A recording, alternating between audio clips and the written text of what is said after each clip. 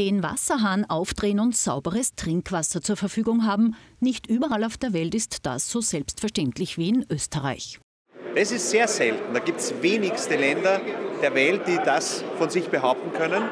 Und das hat eigentlich nur damit zu tun, dass tausende Menschen täglich dafür sorgen, dass das so ist. Damit sauberes Trinkwasser immer und überall zur Verfügung steht, braucht es die nötige Infrastruktur.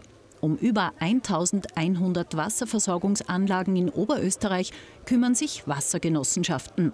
Auch darum, dass das Wasser fließt, wenn der Strom für die nötigen Pumpen ausfällt. Was man nicht vergessen darf, ist, wenn die Wasserversorgung, die Trinkwasserversorgung ausfällt, funktioniert auch die Toilette nicht mehr. Und dann, speziell in größeren Städten, könnte das schon ein Hygieneproblem werden. Da schauen wir drauf.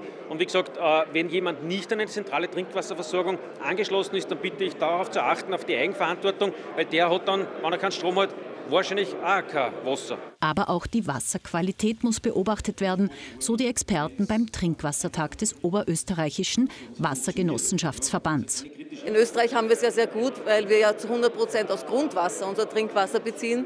Das ist ganz anders, als wenn Trinkwasser aus einem Oberflächenwasser oder vielleicht sogar ein, aus einer wiederverwerteten Wasser verwendet werden muss. Viele seien sich des Werts von sauberem Trinkwasser nicht bewusst, sagen die Wasserverbände. Schon Kinder sollten darauf hingewiesen werden, dass reines Wasser keine Selbstverständlichkeit ist. Leider wird oft allein durchs Auftreten vom Wasserhahn glaubt, äh, das funktioniert alles, es ist alles super, ich habe es eh so schön.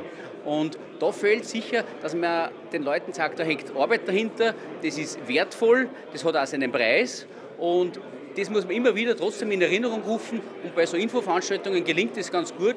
Wasser ist in Österreich im Eigentum der öffentlichen Hand. Das soll auch so bleiben, so die Verantwortlichen für die Wasserversorgung. Ich bin strikt gegen eine Privatisierung. Das ist in diesen Bereichen, hat man immer wieder gesehen, äh, eher schlecht. Also das ist ganz, ganz wichtig. Das obliegt dann sozusagen nach wie vor dem Bürgermeister und dem Gemeinderat, die dafür Sorge tragen, dass auch der Preis passt, dass die Instandhaltung passt. Ob das dann eine Aktiengesellschaft ist, eine GmbH oder eine Genossenschaft, ist dann eigentlich egal. Hauptsache, jeder hat jederzeit Zugang zu sauberem Trinkwasser. Davon verbrauchen Herr und Frau Österreicher durchschnittlich 130 Liter am Tag.